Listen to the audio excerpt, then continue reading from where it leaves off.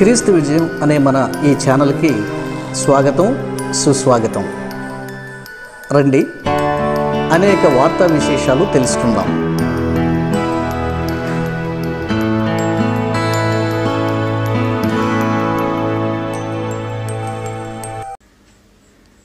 పరిశుద్ధుడును నిత్య నివాసి అయినటువంటి ఈ లోకాన్ని సృష్టించిన సృష్టికర్త అయినటువంటి ఏసయ్య మత్తయి శుభవార్త పంతొమ్మిదవ అధ్యాయము పంతొమ్మిదవ వచనంలో ఈ రీతిగా ఆయన చెప్తున్నారండి. నిన్ను వలె నీ పొరుగువానిని ప్రేమించవలెను. మానవాళికి ప్రేమించడం అనే విషయంలో యేసు ప్రభువారే మార్గదర్శి.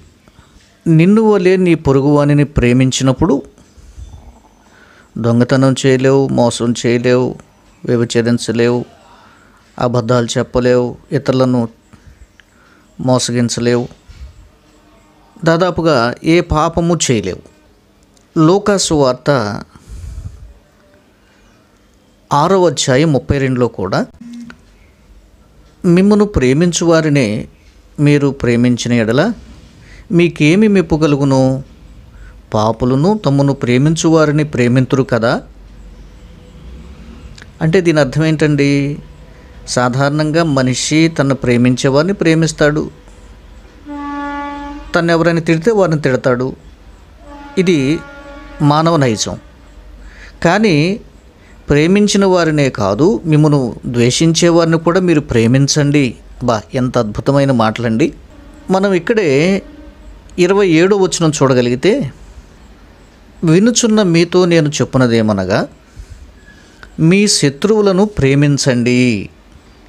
మిమ్మను ద్వేషించు వారికి మేలు చెయ్యండి. మిమ్మను శపించు వారిని దీవించండి. మిమ్మను బాధించు వారి కొరకు ప్రార్థన చేయండి నిన్ను ఒక చెంప మీద కొట్టు అని వైపు రెండవ చెంప కూడా త్రిప్పండి. బా ఎన్నో అద్భుతమైనటువంటి విషయాలు కంటిన్యూగా చెప్పబడుతున్నాయండి. క్రైస్తవ్యంలో ఉన్న మాధుర్యం ఇదే. నిజ దైవమైనటువంటి మన సృష్టికర్త ఏసయ్యకు సేవకునిగా నేను ఇతరులను ప్రేమిస్తాను. నాట్ ఓన్లీ దట్ ఒకవేళ శత్రువులుగా క్రైస్తవ్యానికి శత్రువులుగా ఉన్నటువంటి వారిని కూడా అంటే క్రైస్తవ్యం మీద బురద జల్లుతూ క్రైస్తవ్యాన్ని క్రీస్తును బైబిల్ను అవమానిస్తూ హేళన చేస్తూ అది తప్పంటూ ఏదో గందరగోళాలు సృష్టించే కొందరు ఉన్నారండి అందరు కాదు. అయితే వారిని కూడా నేను ప్రేమిస్తాను. వారిని కూడా నేను గౌరవిస్తున్నాను. ఎల్లప్పుడూ అలాగే దానికి నేను కట్టుబడి ఉంటాను. సరే విషయం ఏంటంటే మన తెలుగు రాష్ట్రాల్లో మరి క్రైస్తవ్యాన్ని ముఖ్యంగా టార్గెట్ చేస్తూ ఓ విధంగా మత విషయాలలో గందరగోళాలు సృష్టిస్తూ ఒక ఆధ్యాత్మికమైనటువంటి చింతన ఎరుగునటువంటి కొందరు ఈ మధ్య సోషల్ మీడియాలో తమ ఇష్టం వచ్చినట్లుగా క్రైస్తవ్యం మీద మాట్లాడుతూ ఉన్నారండి.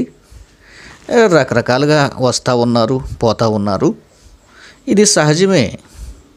క్రైస్తవ్యానికి ఆది నుంచి కూడా క్రైస్తవ్యాన్ని ద్వేషించే వాళ్ళు ఉంటా వచ్చారు. బైబిల్ని కాల్ చేసేవాళ్ళు ఉంటూ వచ్చారు. ఏసైను దూషిస్తూ అవమానించినటువంటి వాళ్ళు వస్తూ వచ్చారు. కొంతకాలానికి వార్ వారిలో కొందరు రక్షించబడ్డారు మారు మనసు పొందారు మళ్ళీ వాళ్ళే సాక్ష్యాలు చెప్పారు. ఇవి ఆది నుంచి క్రైస్తవ్యానికి అలవాటే. కాబట్టి క్రైస్తవ సోదరులారా ఎవరు బాధపడొద్దు. వీలైనంత వరకు ప్రేమ చూపండి. ఇతరులను మనం ప్రేమించే ప్రయత్నం చేద్దాం. వీలైతే మన శత్రువులను కూడా ఖచ్చితంగా దేవుని మాట ప్రకారంగా మనం ప్రేమిస్తూ వారి రక్షణ కొరకు ప్రార్థిద్దాం. సరే శివశక్తి అని కరుణాకర్ అట్లాగే హిందూ జనశక్తి అని లలిత్ గారు ఆర్డిఎస్ అనేటువంటిది ఒకటి ఏర్పాటు చేసుకుని హమారా ప్రసాద్ గారు ఇంకా మరి ఇక రకరకాలైనటువంటి వారు ఇంకా చిన్న చిన్న తెగలుగా సోషల్ మీడియాలో ఇంకా కొంతమంది కనిపిస్తూ ఉంటారండి.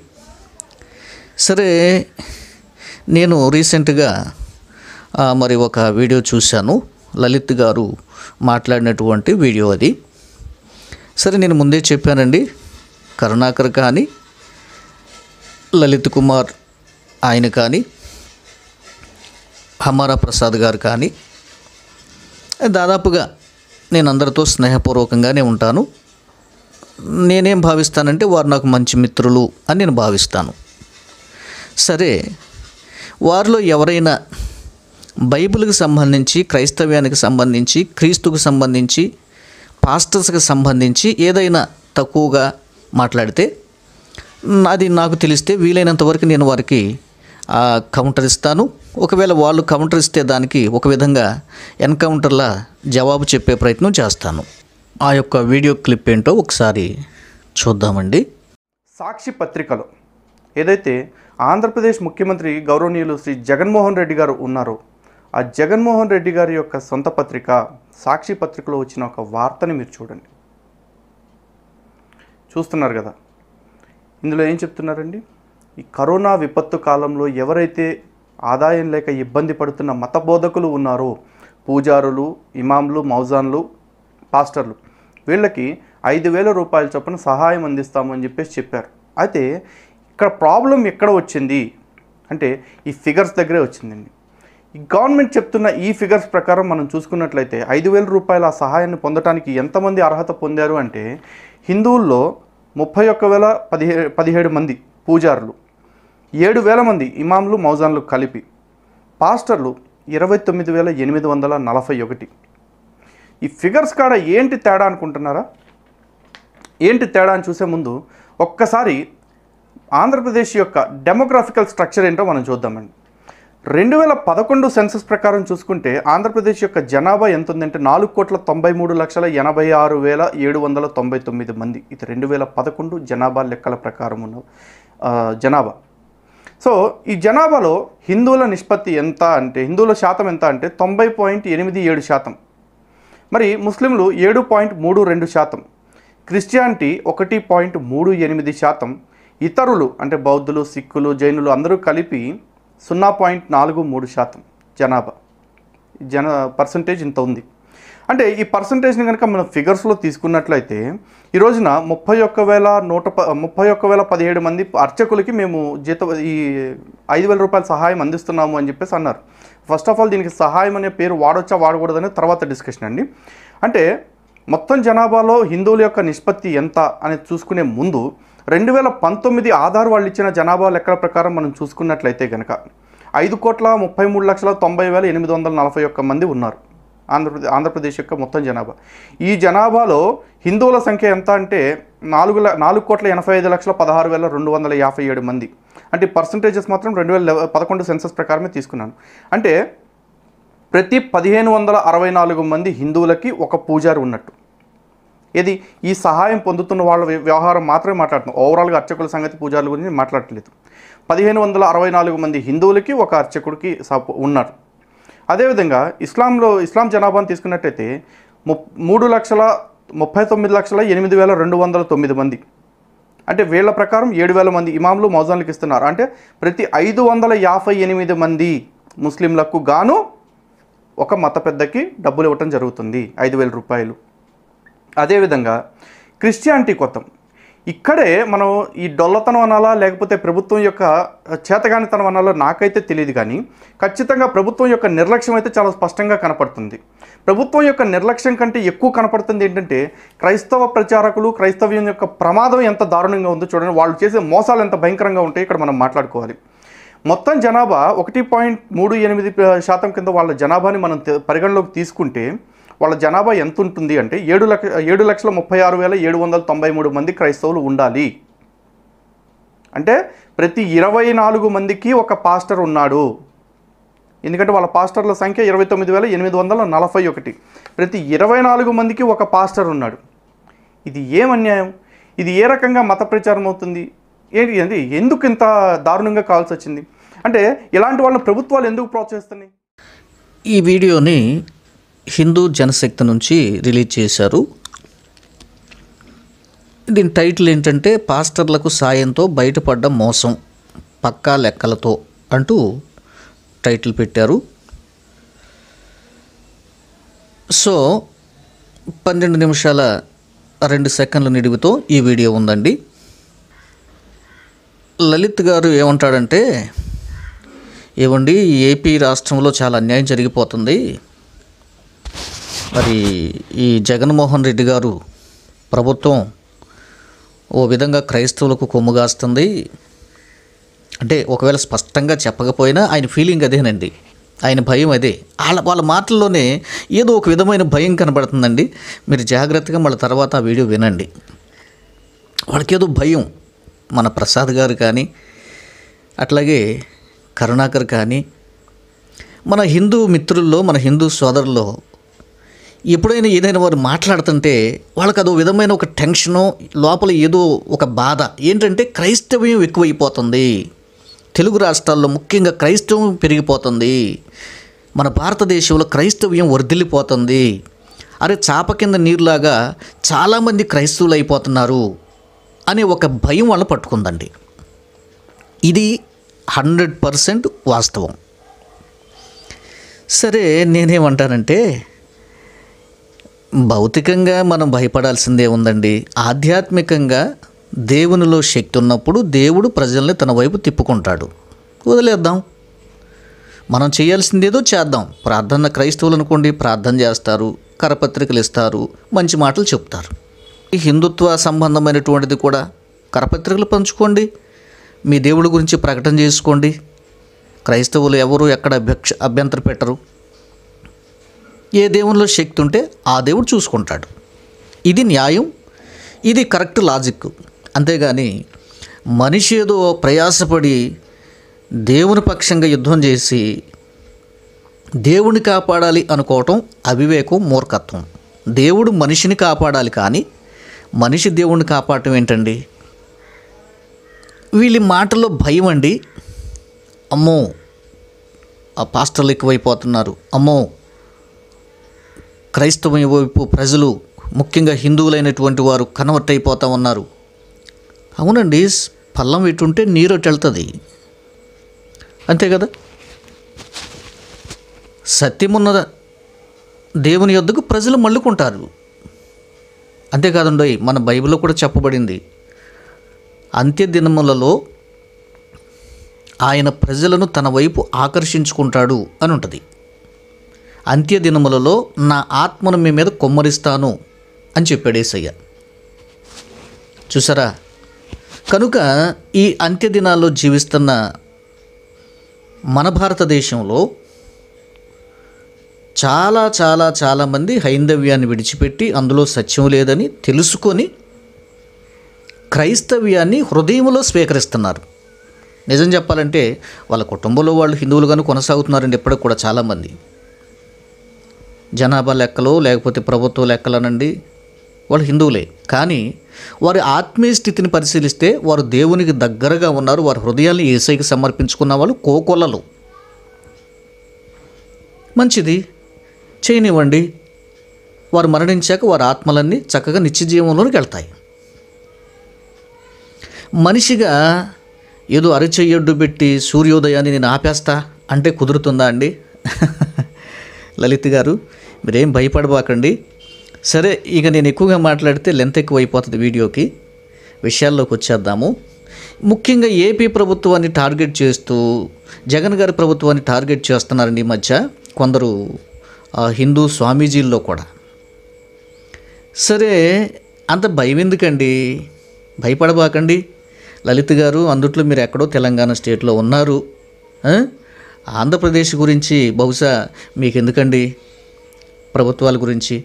సరే మీరు కూడా అనొచ్చు పాస్టర్ గారు మీకెందుకండి ప్రభుత్వాల గురించి అని. అంటే నేను మా స్టేట్లో ఉన్నాను కనుక మా ముఖ్యమంత్రి గారిని మీరు ప్రశ్నిస్తున్నారు కనుక కొన్ని విషయాలు నేను అడుగుతున్నాను. సరే మాకు ముఖ్యమంత్రులు ఎవరైనా ఒకటేనండి. ఈవెన్ చంద్రబాబు గారు ఉన్నా మేము ఆయన ప్రేమిస్తాం. అంతెందుకండి? బీజేపీ ప్రభుత్వం ఉన్నా మేము వారిని ప్రేమిస్తాం గౌరవిస్తాం. అది క్రైస్తవ్యం అంటే. రైట్ అండి? సరే ఈయన టోటల్గా ఏంటంటే పాస్టర్లకు ఏదో ఎందుకు సహాయం చేయాలి? లలిత్ గారు చెప్పినటువంటి సారాంశం ఏంటంటే అమ్మో పాస్టర్లు ఎక్కువైపోతున్నారు. ఆయన కొన్ని లెక్కలు కూడా చెప్పాడండి. ఆయన లెక్కల ప్రకారమే మనం చూద్దాం. ఆయన ఏమంటాడంటే ఏమండి ఈ మధ్యకాలంలో పాస్టర్లకు సహాయం చేశారండి. ఎట్లా సహాయం చేశారంటే పేద పాస్టర్లకు కానీ పేదవాళ్ళైన ఇమాములకు కానీ పేదవాళ్ళైన పూజారులకు కానీ హెల్ప్ చేశారండి.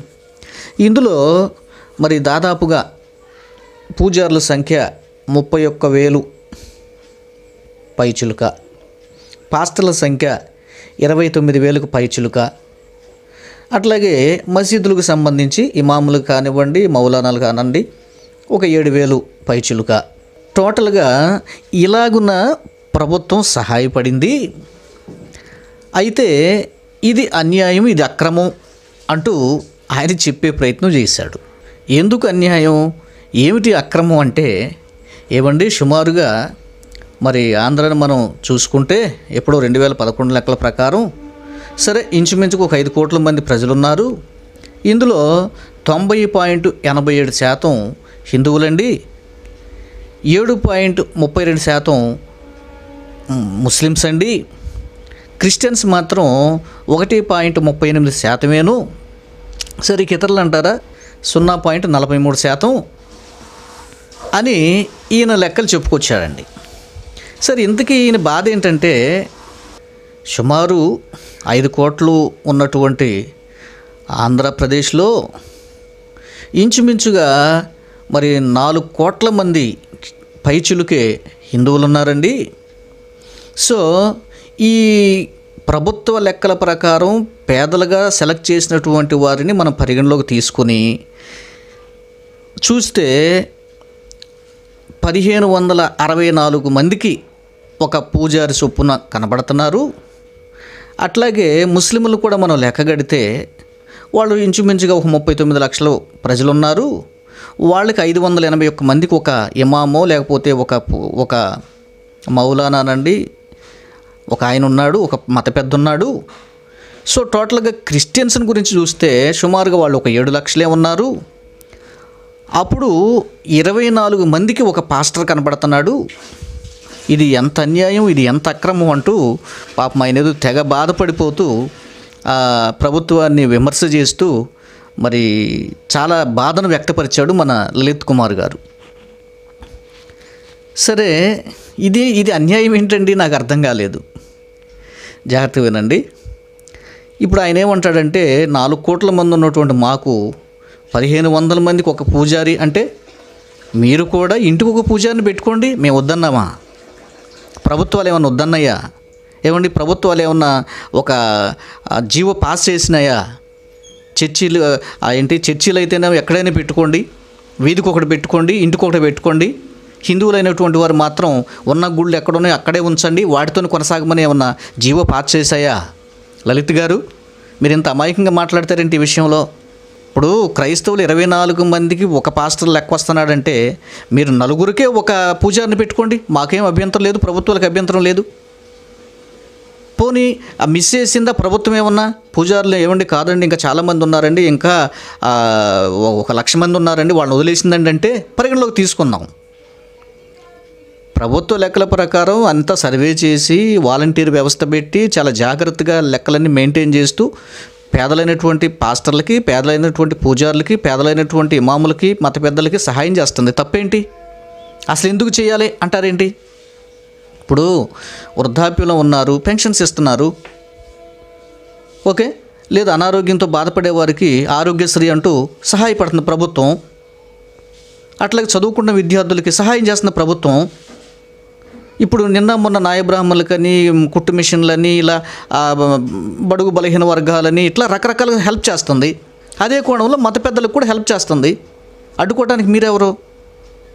చెప్పండి. అది ప్రశ్నించకూడదు. ఇప్పుడు మేమేదో కడుతున్నాము పన్నులు కడుతున్నాం మీకులాగంటే అది వాస్తవమే. పన్నులు కడుతున్నాం మీరు ఎట్లా కడుతున్నాం మేము ప్రభుత్వానికి ఎట్లా కడుతున్నారు. హిందూ అయినా ముస్లిం అయినా క్రైస్తవుడైనా ఇతర మత ఏ మతస్థుడైనా. కాబట్టి మీరు ఖచ్చితంగా గతంలో మా యొక్క దేవాలయాలు హుండీల్లో తీసి క్రైస్తవుల పాస్టర్లకి ఇటువంటి అని తప్పుగా మాట్లాడారు గతంలో. సో అది తప్పు. ప్రభుత్వం ఎక్కడ ఒక మత విధానంలోకి వెళ్ళి మతానికి సంబంధించిన డబ్బులు తీసుకొచ్చి జనానికి పంచి పెడుతున్నారా? మీ దగ్గర ఏమైనా ఎవిడెన్స్ ఉందా? చెప్పండి. సరే ఈయన బాధ ఏంటంటే వీధికో పాస్టర్ తయారవుతున్నాడు వీధికో పాస్టర్ తయారవుతున్నాడు వాళ్ళు నిలవరించాలి. ఏమి నిలవరించాలి? మా బైబిల్ అంతే చెప్తుంది. అంటే మీకేమైనా రూల్స్ ఉంటాయేమో ఒక పూజారి కావాలంటే ఖచ్చితంగా వాళ్ళ ఫ్యామిలీలోంచి రావాలి లేకపోతే ఈ క్వాలిఫికేషన్స్ ఉండాలి లేకపోతే ఇట్లా ఉండాలని మీకేమన్నా రూల్స్ అండ్ రెగ్యులేషన్స్ ఉంటాయేమో? నాకు తెలియదు క్రైస్తవ్యంలో మారు మనసు పొందాక ఒక వ్యక్తి ప్రార్థన చేసుకుంటున్నప్పుడు ప్రార్థన చేసుకొని ప్రభువుకు నమ్మకంగా జీవిస్తున్నప్పుడు ప్రభు చెప్తాడు నువ్వు వెళ్ళి నా పరిచయం చెయ్యని. సో వెంటనే ఆ వ్యక్తి సిద్ధపడి ఏదో ఒక ప్రాంతంలోకి వెళ్ళి దేవుని సువార్త ప్రకటిస్తూ అక్కడ చర్చ నిర్మించుకుంటాడు. అంతేగాని దానికి ఏదో ఒక ఏదో ఒక రూల్ ఉండాలి ఒకటి ఏదో పాటించాలన్నది క్రైస్తవ్యంలో లేదు. ఇది మీరు తెలుసుకోండి. వాళ్ళు ఏం పని చెయ్యరు అంటూ కూడా మీరు మాట్లాడారు. అవునండి?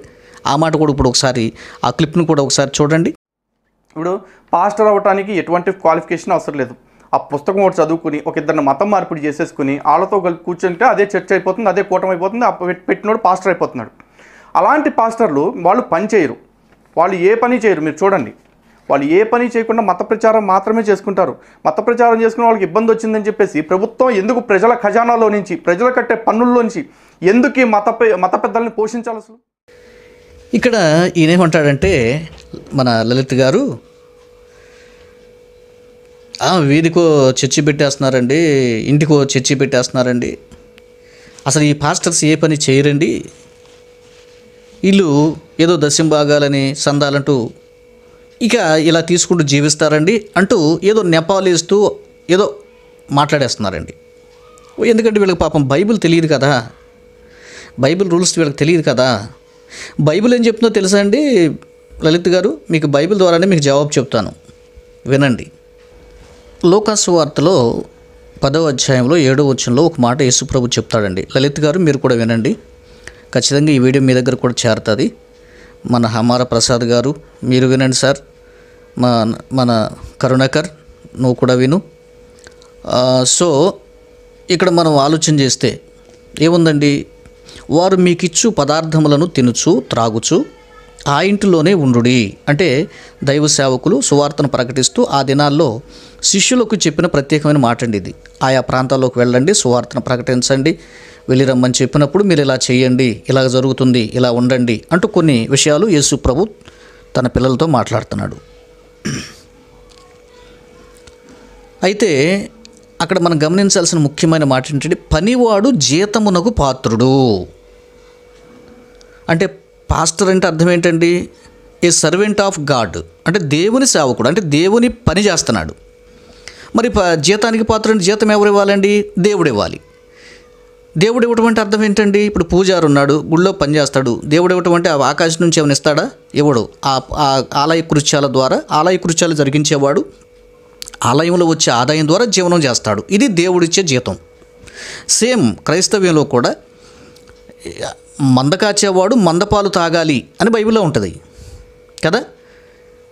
నూర్చెడు ఎద్దు మూతికి చిక్కం పెట్టకూడదు అనే షరతు ఉంటుంది. సో ఒక సేవకుడు సేవ చేస్తున్నప్పుడు ఆ సేవలోనే జీవనం చేయాలి ఆ పనివాడు జీతానికి పాత్రుడు అంటే దేవుడిచ్చే జీతానికి పాత్రుడు. అంతేగాని ఈ పని చేస్తా ఆ మళ్ళీ ఉద్యోగం చేసుకోవచ్చు కదా కష్టపడి పొలం పని చేయొచ్చు కదా నాట్లు వేయొచ్చు కదా కోతలు కొయ్యొచ్చు కదా అంటూ మీరు కోతలు కొయ్యకండి. ఎవరు కూడా తెలిసి తెలియకుండా. ఎందుకో తెలుసా? బైబిల్ గ్రంథం ఇంకేం స్పష్టంగా చెప్తుందండి? ఆ మాట కూడా చూపిస్తా. బైబిల్లో మరో మాట చూపించే ముందు మరొక మాట క్రైస్తవులను ఉద్దేశించి కూడా చెప్తున్నారండి. కొంతమంది క్రైస్తవుల్లో కూడా ఒక ఆపోహ ఉంటుంది. ఏంటంటే సేవకులు కదా. కొంతమంది మరి కష్టపడి పనిచేయాలి కదా. దీని మీద ఉండాల్సిన రూల్ ఏంటి? అన్నది హిందువులే కాదండి. క్రైస్తవుల్లో కూడా కొంతమందిలో ఉంది. అయితే వాళ్ళు దేని బేస్ చేసుకుని అంటారంటే ఏమండి అపోస్తులైన పౌలు చూడండి. ఆయన సువార్త ప్రకటన చేస్తూ డేరాలు కుట్టి చేతులతో కష్టపడి పనిచేసి జీవనోపాధి చేశానని బైబిల్లో రాశాడండి అని అంటారు. ఈ మాటని అడ్డం పెట్టుకొని హిందూ సోదరులు కూడా కొంతమంది ఇలాగే విమర్శ చేసేవాళ్ళు లేకపోలేదు. ఇక్కడ నేనేమంటానంటే ఆయన క్రొత్తగా సంఘస్థాపన చేసుకుంటూ వెళుతున్న సమయంలో అలా చేశాడు. అర్థమైందా? లేదనుకోండి అయ్యా మీ చందాలు ఇవ్వండి లేకపోతే దేవునికి ఇట్లా దేవుని భాగాలు చెల్లించాలండి కానుకలు ఇవ్వండి అని ఒకవేళ వాక్యానుసారంగా చెప్పినా వాళ్ళు ఆయన రిజెక్ట్ చేస్తారు. ముందు వాళ్ళు సత్యం తెలుసుకోవాలి తర్వాత వాళ్ళు గ్రహించుకుంటారు మనం ఏం చేయాలి ఏం చేయకూడదు అనేది. కదా? అట్లాగే అందుకని ఆయన మొదటగా అలాగ చేశాడు కొన్ని ప్రాంతాల్లో. అయితే తర్వాత కొన్ని సందర్భాల్లో సంఘాలు ఆయన పోషించినాయి. మీరు తీసుకొచ్చి నాకు ఇస్తున్నారు సమృద్ధిగా నేను కలిగి ఉన్నాను నాకు ఏదీ తక్కువ లేదు మీరు నన్ను పోషిస్తున్నారు అంటూ కితాబ్ ఇచ్చినటువంటి వచనాలు చాలా ఉన్నాయి. మరి అట్లా ఎందుకు చెప్పాడు మరి? తర్వాత ఎందుకు తీసుకున్నాడు ఆయన? తర్వాత ఎందుకు మీరే నన్ను పోషించాలన్నాడు? బైబిల్ ఉన్నాయండి. అంటే రీజన్ ఏంటంటే ప్రారంభంలో దేవుని పని చేసినప్పుడు వారి మీద కష్టంగా ఉండకుండా వారు సత్యాన్ని గ్రహించేంత వరకు ఆయన పని ఏదో ఆయన చేసుకుంటూ వారికి స్వార్థ ప్రకటించాడు. ఆ తర్వాత కాలంలో సంఘం ఏర్పడిన తర్వాత ప్రజలు విశ్వాసంలోకి వచ్చిన తర్వాత ప్రజలు సత్యాన్ని నేర్చుకుని తెలుసుకున్న తర్వాత వారు ఆయన్ని పోషించారు. ఇది సత్యం. బైబిల్ చెప్పే సత్యం. నా మాటలు కాదండి. అయితే ఇప్పుడు రోమా పత్రికలో పదమూడవ అధ్యాయంలో ఆరో వచనంలో స్పష్టంగా ఉందండి. లలిత్ గారు శ్రద్ధగా వినండి. పాస్టర్లు ఏం చేయరు పాస్టర్లు ఏం చేయరు అని ఇక అనక ఇక అనకండి ఎవరు కూడా. ఏమండి? ఎందుకనండి? రోమపత్రిక పదమూడు ఆరు ఏలయనగా వారు దేవుని సేవకులయ్యుండి ఎల్లప్పుడూ ఈ సేవ ఎందే పని కలిగి ఉందరు.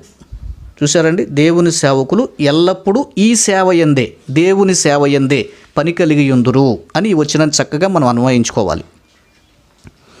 అర్థమైందా? అదేదో పని చేస్తా మళ్ళీ సేవ చేద్దాం.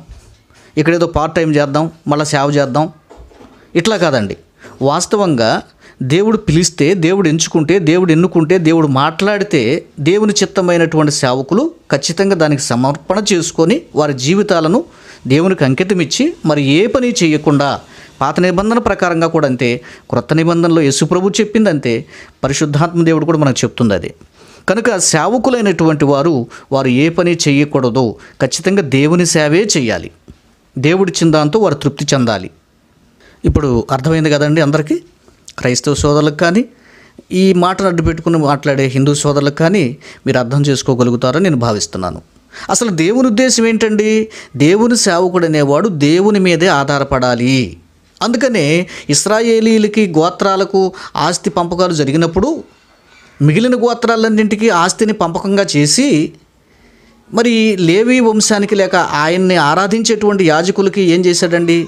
లేవి గోత్రానికి మీరు ఆస్తి ఏమి ఇవ్వద్దు నేనే వారి ఆస్తి అని చెప్తాడు. అంటే ఏంటండి? చర్చి ద్వారా వచ్చే ఆదాయం ద్వారా వారు తినాలి వారు బ్రతకాలి అది వాళ్ళ సొత్తు. ఇది తరతరాలకు కట్టడా అని దేవుడు చెప్పాడు. అర్థమైందా? ఇప్పుడు వేరే జాబ్ చేసుకుంటున్నాడండి దేవుని మీద ఆధారపడ్డావు విశ్వాసం మీద ఆధారపడలేడు. సోర్స్ వేరే రీతిగా ఉంది కదా.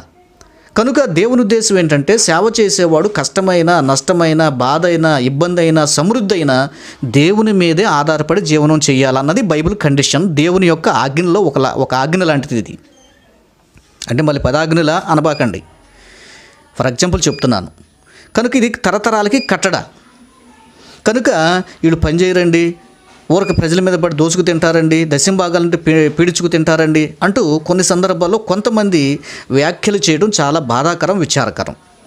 సరే కొంతమంది ఏదో మోసాలు చేస్తూ వాళ్ళు సరిగా ఉండలేదండి వాళ్ళ మార్పు సరిగా లేదండి ప్రజలు బాగా బాధ పెట్టేస్తున్నారండి వాళ్ళ తత్వం బాగోలేదండి వాళ్ళు డబ్బాస్తుని పనిచేస్తున్నారంటే అలాంటి వాళ్ళు అన్ని చోట్ల ఉంటారు అన్ని మతాల్లోనూ ఉంటారు. ఏం చేద్దాం? ప్రభు వారిని క్షమిస్తాడు మనం కూడా వారిని క్షమిద్దాం. సరేనా? రైట్. సరే కనుక సో ఇక్కడ మీరు లలిత్ గారు ఈ విషయాలు మీరు గుర్తుంచుకోండి.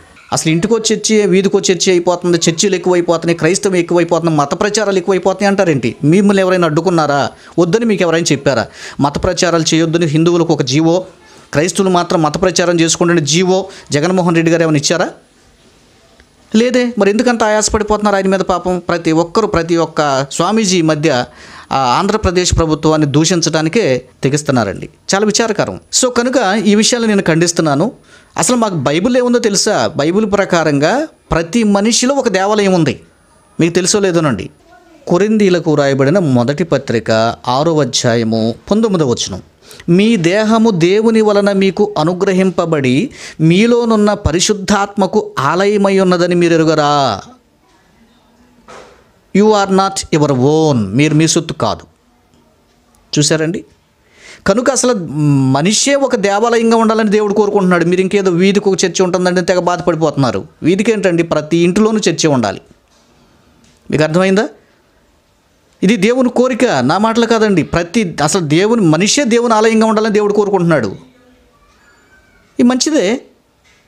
ప్రతి మనిషి పరిశుభ్రంగా దేవాలయం అంటే ఏంటండి? పరిశుభ్రంగా ఉంటుంది మంచిగా ఉంటుంది నీతిగా ఉంటుంది. అవును ప్రతి దేహం ప్రతి మనిషి అలాగుంటే దేశానికి లాభం కదా?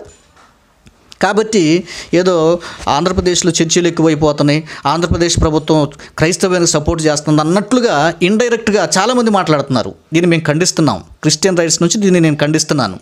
గ్లోబల్ వైడ్ క్రిస్టియన్ రైట్స్లో ఏపీకి సంబంధించి స్టేట్లో ఈ స్టేట్లో నేను ఒక లీడర్ని. సో కనుక క్రిస్టియన్ రైట్స్ నుంచి ఇలాంటి కామెంట్స్ని మేము ఖండిస్తున్నాము. ప్రభుత్వాన్ని మేము అప్రిషియేట్ చేస్తున్నాము.